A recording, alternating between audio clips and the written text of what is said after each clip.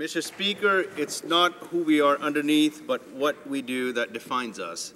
A hero can be anyone, even a man doing something as simple as reassuring as putting a coat around a little boy's shoulder. Brampton has that hero, the Brampton Batman.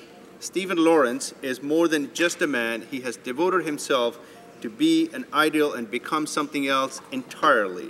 For over two years, he has been a silent guardian, a watchful protector, a dark knight who has walked the streets of Brampton at night helping others. He changed tires, helped people cross the street, and even saved a life by performing CPR. The Brampton Batman is always happy to take pictures or lend a helping hand. He even has his own Batmobile, and yes, Mr. Speaker, it comes in black.